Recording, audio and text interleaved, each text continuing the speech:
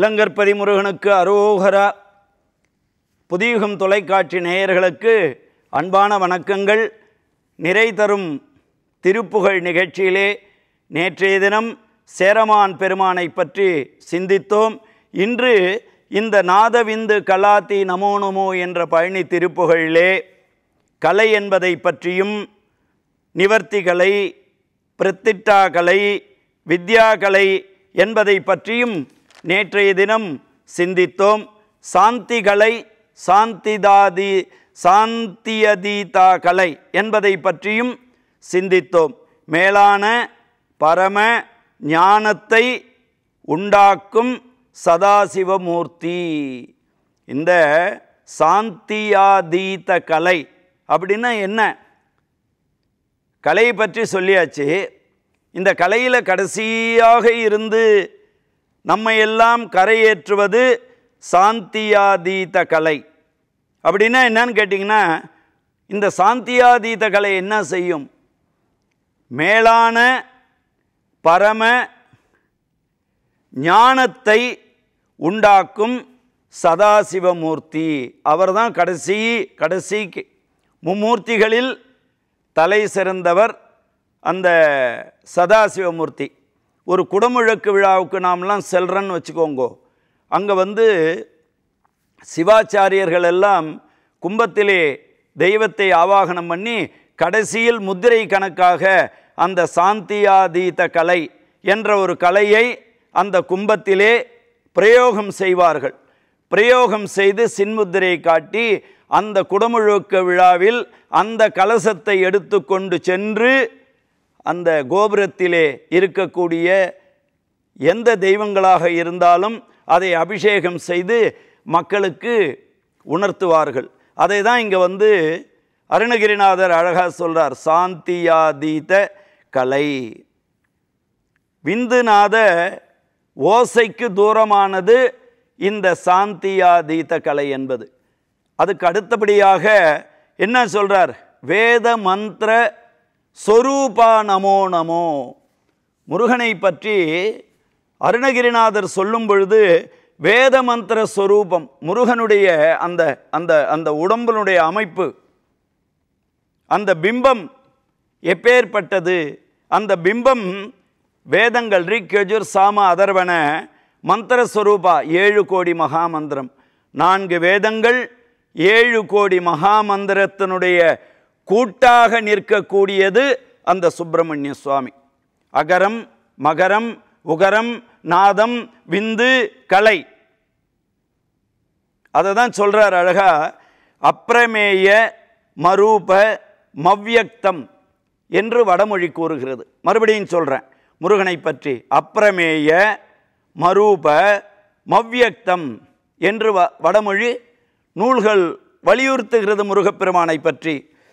உருவன்று அருவன்று உளதன்று இளதன்று உருவன்று அருவன்று உளதன்று இளதன்று என்று தமிழ் மொழிகள் தமிழ் பாசுரங்கள் முருகப்பெருமானை பற்றி வர்ணிக்கின்றது. தமிழ் வேதமும் கூறியிருக்கிறது. சுப்பிரமணிய பரபிரம்மத்திற்கு அதாவது சுப்பிரமணிய தேவனுக்கு மட்டும் அதாவது முருகப்பெருமானுக்கு மட்டும் சுப்பிரமணியம் என்ற ஒரு பெயர் முருகனுக்கு. சுப்பிரமணியம் சுத்த பிரம்மன்னு பேர். சுத்தமான பிரம்மம் அங்கே மாசே கிடையாது. அந்த சுப்பிரமணியம் மந்திர வடிவம் மாய வடிவம் இல்லை. மந்திர வடிவம் இல்லை. முதல் மந்திர வடிவம்னு சொன்னேன் அதுக்கடுத்தது அருணகிரிநாதர் என்ன சொல்கிறாரு மந்திர வடிவமும் இல்லை. மாய வடிவமும் இல்லை. இல்லை என்பதும் மந்திர சொரூபி என்று கூறி மந்திர சொரூபி இப்போ இப்போ நம்ம வந்து திருக்கோயிலுக்கு சொல்கிறோம் அந்த பிம்பத்தை எப்படி வழிபடுறது? அதை பற்றி தான் அருணகிரிநாதர் சொல்கிறார் அவர் மந்திர வடிவு இல்லை. மாய வடிவும் இல்லை. ஆனால் பக்தர்களுக்காக மந்திர வடிவம் தாங்கியவன் மாய வடிவம் தாங்கியவன் என்று அருணகிரிநாதர் அழகாக இந்த நாதவிந்து கலாத்தி நமோ நமோ என்ற திருப்புகழிலே நமக்காக எடுத்துரைக்கின்றார். முருகனுக்கு உண்மையில் வடிவமில்லை. அடுத்தபடியாக பாருங்க. முதல் உண்டுன்றார். அருவமும் உருவமாகி அனாதியாய் பலவாய் ஒன்றாய் பிரம்மமாய் நின்ற ஜோதி. அப்பேற்பட்ட ஜோதிக்கு என்ன பண்ணுறாருன்னா ஆன்மாக்கள் உய்யும் பொருட்டு நாம் எல்லாம் கோயிலுக்கு சொல்கிறோம் நாமெல்லாம் தியானம் பண்ணுறோம் முருகனுக்கு கோயிலுக்கு போனால் அர்ச்சகர்கிட்ட சொல்லி அர்ச்சனை செய்யும் பொழுது ஓம் ஞானஸ்கந்தாய நமகாம் குஹாய நமகாம் ஷண்முகாய நமகாம் பிரபுவே நமகாம் என்ற மந்திர வடிவங்களாக சொல்லி அந்த நூற்றி எட்டு மந்திரங்களாக சொல்லி நம்மளுடைய நம்முடைய கோரிக்கையெல்லாம் முருகனுடைய திருவடியிலே மந்திர புஷ்பமாக சமர்ப்பணம் செய்வார்கள். ஆன்மாக்களின் தியான பூஜை நிமித்தியம் மந்திர வடிவம் தாங்கி வருகின்றார் சுப்பிரமணிய சுவாமி. அருவமும் ஆனவன் உருவமும் ஆனவன் அருவமும் உருவமும் இல்லாதோர் தன்மையும் ஆனவன் ஊழின் கருமமானவன் அதன் நிமித்தமும் ஆனவன். பரமன் ஆடலை யாவரே பகர்ந்திடர் பாலாருன்னு அ- அழகா சொல்லியிருக்கிறார். மறுபடியும் சொல்கிறேன் அருவமும் ஆனவன் உருவமும் அருவன்னா அரூபி அரூபினா உருவம் இல்லாதவன் அர்த்தம்.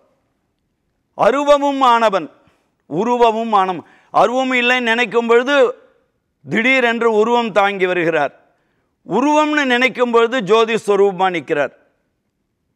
காடி ஸ்லைட்டுன்ற மாதிரி அருவமும் ஆனவன் உருவமும் ஆனவன் அருவமும் உருவமும் இல்லாதோர் தன்மையுமானவன் ஊழின் கருமமானவன்.